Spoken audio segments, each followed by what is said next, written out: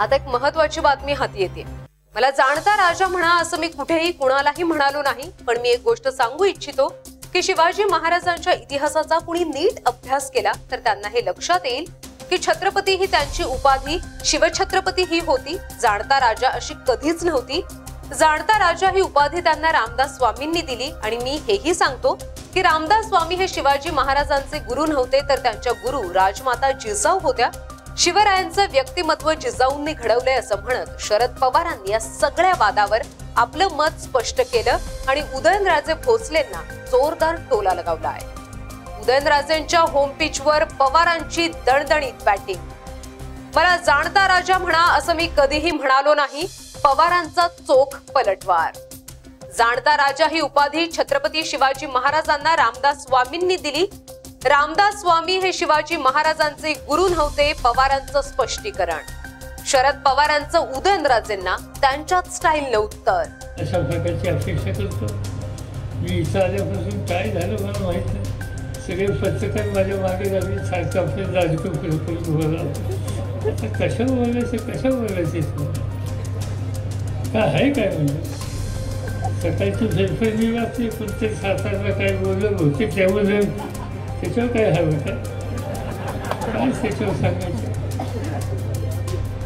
मी जे काही कधी कोणा बोललं काही बोलत असलं तर रामराजे पोलीस आहे त्यामुळे रामराजे असल्यानंतर मला कोणाला बोलावं लागेल आता ते बोललेत काय ठीक आहे आता काय बोलायचं आपण काय मी ते शब्दाने बोललो नाही बोलणार त्यांनी त्यांनी एक वाक्य वापरलं की जाणता राजा म्हणून तर मी काही कुठं म्हणलो नाही मला जाणता राजा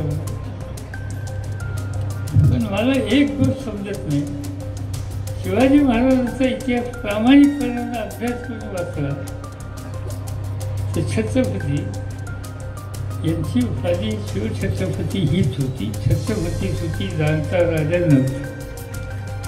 आणि जाणता राजा हा शब्द हा रामदासांनी आणलेला आहे. आणि जे लोक सांगतात की रामदास शिवाजी महाराजांचे गुरु होते हे खोटं.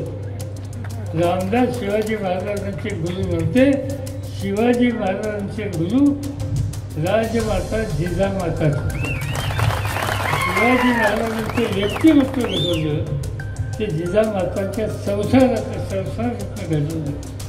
आणि त्यामुळे तुम्ही जर शिवाजी महाराजांचा कालखंड नीट अभ्यास करा तर त्या कालखंडामध्ये रामदास नव्हते. पण काही लोकांच्या हातात लेखणी होती. आणि त्यामुळे या कर्तृत्व संपन्न.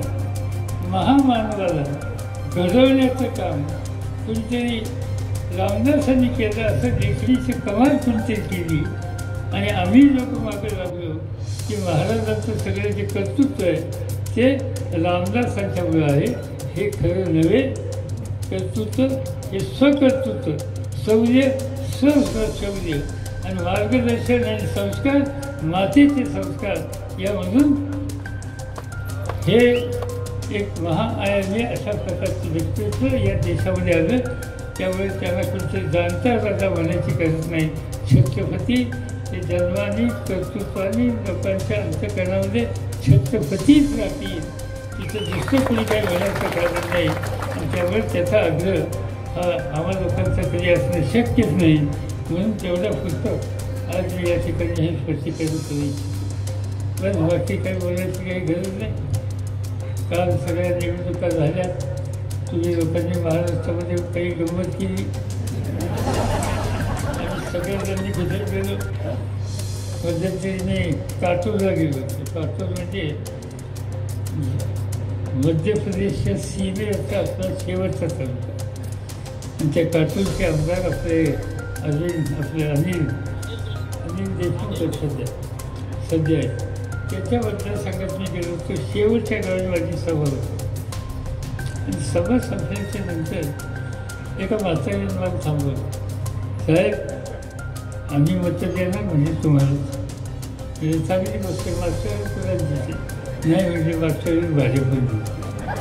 म्हणजे यावेळेस कसं नाही म्हणजे काय राहू म्हणजे त्या साताची सवा मी पावसात मी बघितली काही सभा आहे का काय? आणि आमच्या गावाने तवच ठरवलं. की आता म्हणजे दुसरं कुठलं नाही. तेवढं राष्ट्रवादीच नसायचं. तो निकाल लोकांनी त्या ठिकाणी म्हणजे अगदी मध्य प्रदेशच्या सीमेत लोक सांगत होते. आणि त्याचं कारण सातारचा माणूस हा किती संकट आली किती अडचणी आली त्या अडचणीवर मात एक मात करून स्वतःचा इतिहास घडवल्याशिवाय राहत नाही. आणि ते सातारकरांनी त्या ठिकाणी घडवलं. त्या इतिहासातून महाराष्ट्र बदलला. आणि त्या महाराष्ट्रातून आज महाराष्ट्राचं चित्र एक प्रकारे बदललेलं आपल्याला दिसतंय. आणि म्हणून या चित्राचं शंभर टक्के श्रेय तुम्हा लोकांना आहे. तुमच्यातल्या तरुणांना आहे. त्याला अंतकरणापासून धन्यवाद देतो.